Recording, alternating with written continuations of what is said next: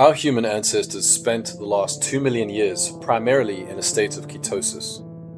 With this first statement, I'm sure I have already caused a lot of raised eyebrows within the first few seconds of this video. But that is not the point of this video. The point of this video really is to try and find the actual diet of our ancestors over the past 2 million years and what kind of metabolism that would have caused them to have. This is due to the fact that what the general scientific community has clearly shown is an obvious and direct bias that ignores clear and obvious facts in the nutritional guidelines they have given over the past 50 years. The logic used in the food pyramid created in the 1970s, and then the promotion of plant foods over animal derived foods in the past 20 years baffles me. The logic used in these lines of thinking almost completely ignores our evolution over several million years and what our true ancestral diet was. We are told repeatedly to attain our vitamins and minerals from plant sources, while we hardly absorb nutrients from them in their natural state. We are recommended to reduce saturated fat as much as possible, while our ancestors used it as their primary fuel source for millions of years. We are told that carbohydrates should form the bulk of our diets, while our ancestors ate very little of them and only occasionally. But humans have been eating carbohydrates for a very long time, haven't they? To this question, I reply back with what carbohydrates were they eating exactly? Because from everything we understand about the world before the agricultural revolution, is that there were hardly any carbohydrates available for a human in the Paleolithic era. A common answer is tubers, starchy roots of some kind. Well, which tubers in that case? Because potatoes did not exist outside of South America until the age of discovery. During the several ice ages we endured, we supposedly were digging through snow to find some sort of high carb magical tuber, which doesn't grow anywhere today which we have suddenly stopped eating for some reason. They hardly exist, even today. Wheat? Wheat did not exist until the agricultural revolution. Grass seeds, then. Good luck trying to scratch out a living as a nomadic hunter gathering grass seeds, which had a tiny fraction of the nutrients our modern day wheat has, whilst herds of animals roam around you, tempting your spear. The fact is, carbohydrates are a scarce resource in the wild, even today, after we have line bred thousands of plants to become filled with them through our transition into farming. Before the agricultural revolution, we had a very limited access to carbohydrates, and therefore humans had to eat what was available to them animals and low carb plants. The next time you go for a hike, try this experiment. Try to identify as many edible plants as you can. And of those plants, try to research the carbohydrate values of them. You'll find negligible amounts. Yes, we did eat plants, despite our hypercarnivorous nature. We know this from analyzing the guts of prehistoric humans such as Otzi the Iceman. As we see from his case, his final meal was ibex and deer meat, but he also snacked on fern fronds, berries, and some grains. Yes, Otzi did eat some grains, but it's important to note that he lived at a time, although being hunter gatherers, his people had begun to transition into farming, as he lived quite recently, around 5,000 years ago. He even sported a flashy copper knife, showing how near to our times he lived. Fruits, as we see them today, didn't exist for the most part, and basically, all of the vegetables we enjoy today were line bred to become what they are. So we didn't eat those either. In fact, the pyramids are older than broccoli, tomatoes, oranges, cucumbers, and almost everything else you'd buy at the supermarket. As these things clearly didn't exist on Earth, there was no way we could have been eating them. And their ancestors were fibrous, nutritionally poor, and minuscule, so surviving on those would have been near impossible too.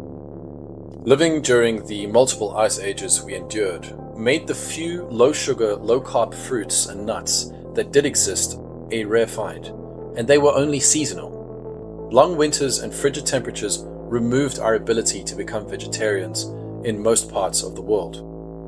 A winter during a glacial period was brutal, and our ancestors would have had little choice other than the fatty parts of animals to fuel their bodies.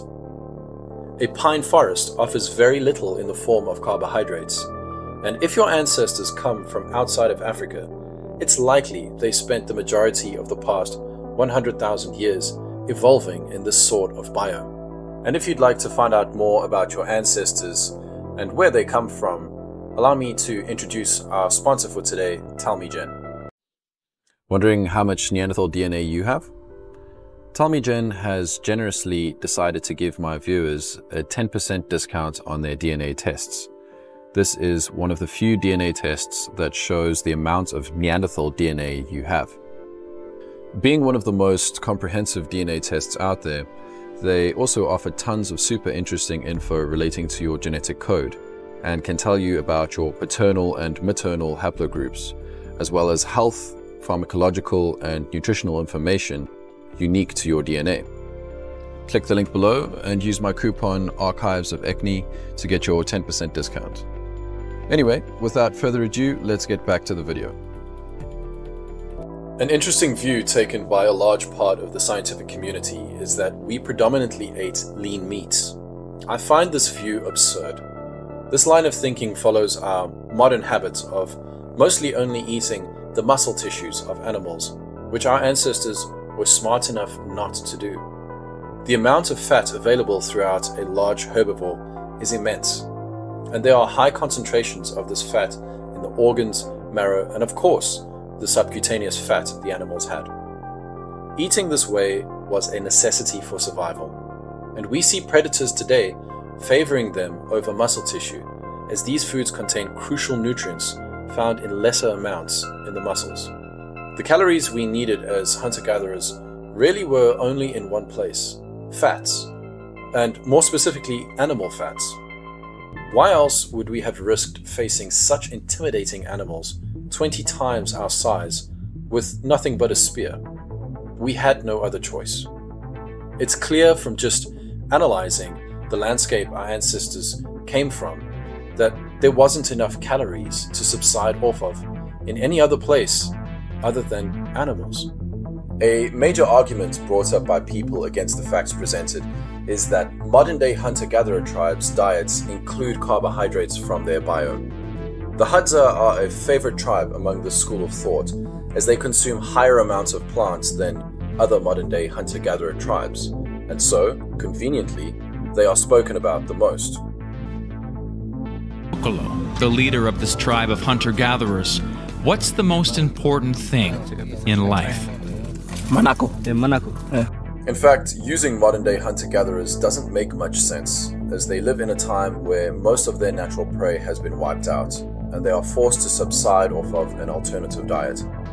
20,000 years and prior, megafauna roamed the world as giant sources of food, and even the prey we still see today were found in exponentially higher numbers. In addition, they lived in a world filled with man made crops strung out among the wild that didn't exist before agriculture. If your ancestors are from outside of Africa, they undoubtedly lived in a completely different biome, which was far colder, with less plant foods and honey available for the majority of the last 100,000 years, due to the ice ages. Regardless, let's humor the critics and take a look at the total calories they derive from animal versus plant sources and why. From this graph, we can see that most of the hunter gatherers in these tribes derive the majority of their calories from protein and fats. This number is around the 75% mark for most of them, and regardless of the total weight of the plants they eat, most of their energy is still within the keto diet range. Honey is consumed, there is no doubt about that, but an incredibly active lifestyle undoubtedly burns off much of this glucose stored in the liver quite quickly. The Hadza derive around half of their calories from protein and fat, despite them being an anomaly and definitely out of the ordinary for hunter gatherers, eating far more calories from plants than other groups. The majority of these hunter gatherer groups derived most of their calories from fat and protein. The carbs they do eat usually have a very high fiber content, which negates much of the carbohydrates they do contain. And the absorption of those carbohydrates is far less than the nutrition they absorb from animal derived foods. On that note, the bioavailability of food matters more than almost anything. After all, a food can contain all the nutrition in the world, but it doesn't matter if our bodies are unable to absorb and then use those nutrients.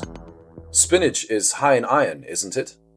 But due to the bioavailability of this food, which is around 10 times less, you'd need to eat 40 kilograms of spinach to satisfy your iron requirements. In fact, all plant foods follow this trend, and when it comes to the nutrition contents of unprocessed vegetables, we could say that most of the vitamins and minerals in them end up being useless. Surely humans evolved to digest them better, seen as though they are what we are meant to be eating, according to the general scientific community. So we can logically assume humans hunted animals as a primary source of food, and we were living off of this diet supplemented by small amounts of low carb plants. If we understand this, we can logically assume that these humans were in ketosis most of the time, interrupted by brief pauses when the tribe got lucky and scored a honey snack or perhaps 8 kilograms of berries over a few days. This ketosis was further pushed by the periods of fasting during an extremely active lifestyle pursuing prey, waiting for the next successful hunt to deliver them the next meal of meat and fat. As we know, not eating or eating very little over a few days puts our bodies into the state of ketosis, and this undoubtedly happened very often for our prehistoric ancestors. We can safely assume that since the time of Homo erectus, we were consistently living off of this meat centric diet until the advent of agriculture, which happened for most populations around a mere 4 or 5,000 years ago. Homo erectus began persistent hunting 2 million years ago and every human species we evolved into from this point forward kept hunting until very recently. The modern human body is still the ultimate persistent hunting machine. We can run longer than any other animal on the planet. We lost our hair and evolved sweating to be better at cooling during midday hunts, and an averagely fit adult could run down and catch a horse, deer, or whatever animal they wanted to how could we ever believe that our entire morphology, being designed around this central thing, was perchance?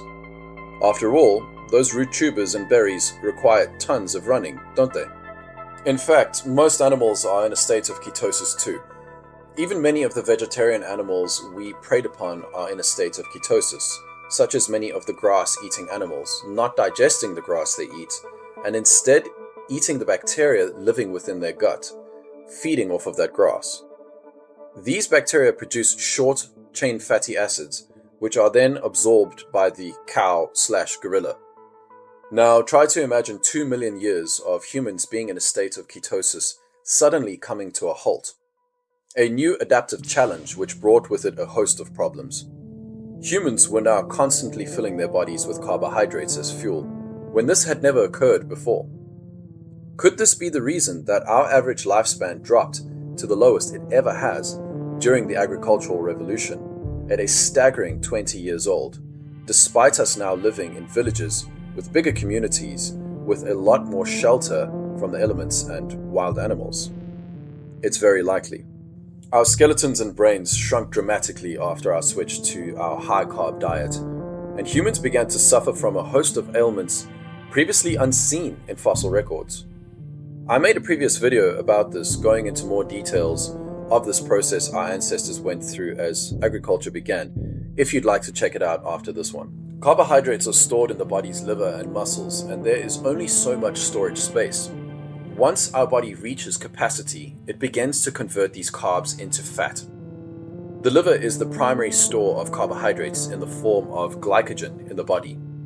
In modern diets high in carbs, the liver is often continuously full to the brim with energy, with these energy stores continuously being topped up again and again endlessly.